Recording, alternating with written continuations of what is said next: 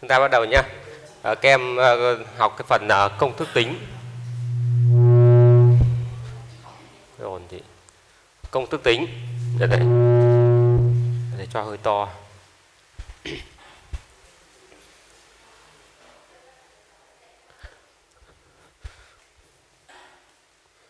À, công thức tính à, số liên kết pi. Công thức tính số liên kết pi cộng với số vòng. Đó. Số liên kết pi cộng với số vòng, cái này người ta gọi là ờ, độ bất bão hòa. Độ bất bão hòa.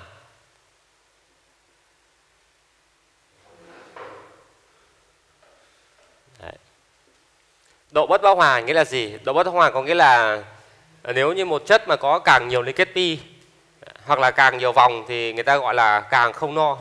Đấy, tức là càng không bão hòa. Bão hòa nghĩa là gì? Bão hòa nghĩa là no. Bất bão hòa có nghĩa là không no. Không no nghĩa là gì? Không no nghĩa là nó nó thiếu nhiều hát em ạ. Nó thiếu nhiều hát. Mà thiếu nhiều hát thì có nghĩa là nó chứa nhiều liên kết pi hoặc là chứa nhiều gì? Nhiều vòng. Thế thì ờ, công thức như sau.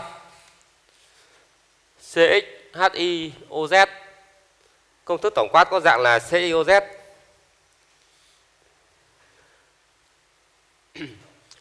thì à, độ bất bão hòa. Người ta ký hiệu delta. Đấy, delta bằng 2x trừ y cộng z. Đã nói 2x trừ y cộng 2 trên 2 Đấy, 2x trừ y cộng 2 trên 2 cái này được gọi là công thức tính độ bất bão hòa. Độ bất bão hòa nghĩa là số pi cộng số vòng.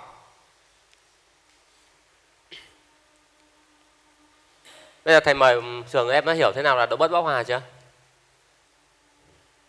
À, độ bão hòa có nghĩa là số pi cộng số vòng. Đấy, thế em đã hiểu chưa? Tại sao gọi số pi cộng số vòng được gọi là độ bất bão hòa? Vì nếu như có nhiều liên kết pi hay là nhiều vòng thì nó càng thiếu nhiều nhiều hát. Ví dụ như là ancan đấy, ancan là số liên kết pi bằng không, số vòng bằng không thì người ta gọi là no đúng không? Thì số H làm sao nhỉ?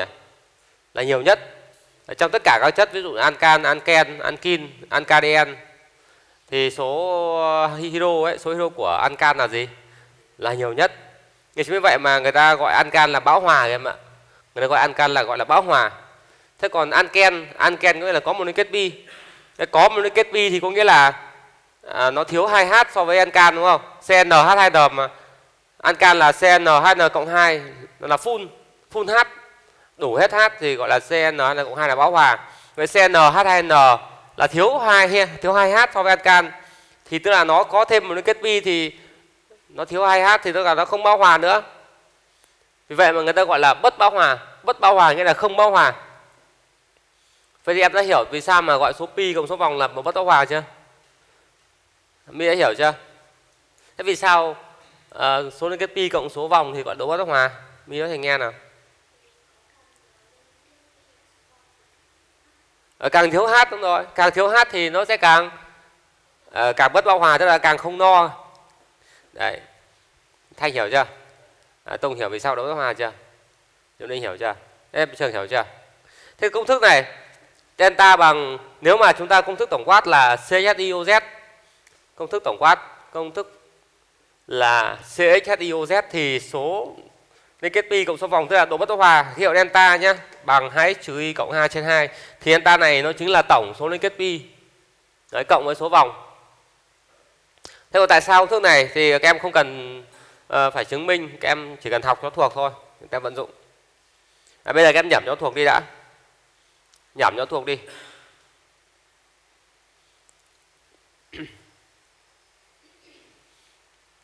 Nào Triệu Linh nào đọc lại công thức thầy nếu có công thức là CIOZ thì delta bằng cái gì? Rồi mi nào? Rồi Tùng à Thành nào? Trượng à, à Tùng nào? Trường nào? Dương nào? Thu nào ok kém thuộc rồi. Bây giờ thầy lấy ví dụ nhá thầy lấy ví dụ này. Các em biết là C2H6 là là gì? Ancan hay anken ankin ăn can. Ancan ancan thì có liên kết pi nào không? À, không có. Đấy, ta, ta vẫn biết là nó không có liên kết pi nào. Bây giờ thử kiểm tra thử xem nhá. Đây là ancan ancan là không có liên kết pi cũng không có vòng không có vòng. Đây cụ thể đây. Là các em viết rõ này ra để các em thấy luôn. Không hề có liên kết pi nào và cũng không có vòng nào. Đấy vì vậy mà cái bài này ấy đối với công thức là C2H6 này thì các em phải tính được delta hay bằng mấy nhỉ? À, phải tính được delta bằng không. Biết thử xem nhá. Thử xem có đúng không? Delta bằng 2x nào bây giờ thầy mày Diệu Linh nào. 2 nhân cái gì? Ờ 2 nhân 2 trừ. Là trừ 6 cộng cộng 2 trên. Bây giờ thử tính xem nó ra bao nhiêu. À, có đúng không không không? Đấy.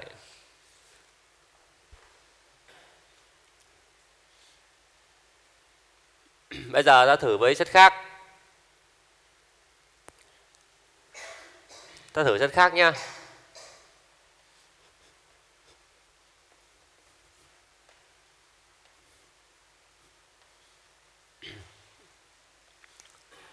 C bây các em chọn đi. Các em thích chọn cân nào thầy lấy bất kỳ.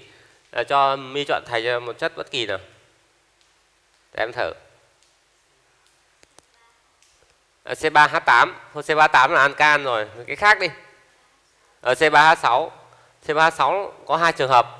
Hoặc là anken đây. Hoặc là gì? Ờ, à, cycloancan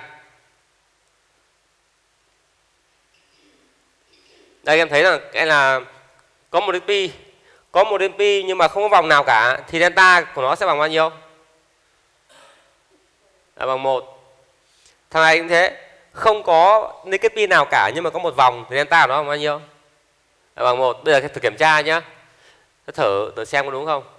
Là mi tính luôn cho thầy xem. Delta bằng hai nhân mấy? Trừ. Ờ, trên 2 cái tính ra xem bằng bao nhiêu? Bằng một. Đấy có đúng không? Đấy. công thức này rất hay. Để chúng ta biết à, trong này nó có bao nhiêu pi hoặc bao nhiêu vòng.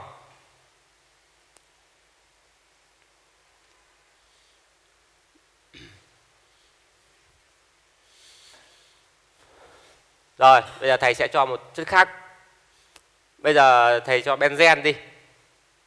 Benzen thử cái benzen nhá. Là C6H6 C6H6 đây. Đó cầm viết này em biết cho thầy là thu nào cho thầy chất này là có delta bằng mấy. Sao biết? Ờ, một vòng đúng rồi. Một vòng cộng gì?